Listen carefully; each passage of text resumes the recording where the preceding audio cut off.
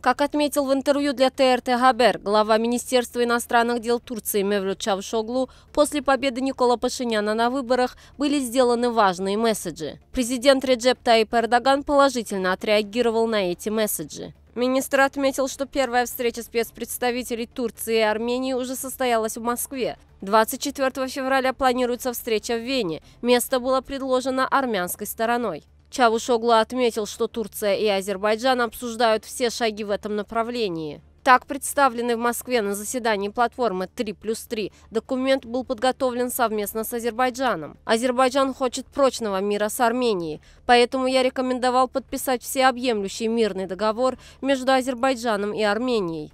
Это в интересах всех нас, отметил министр. Глава турецкого МИД также коснулся и реализации сухопутных и железнодорожных проектов, включая Зангизурский коридор, способного превратить регион в транзитный центр, от чего выиграет каждый. Что Армения получила в результате оккупации и конфликта?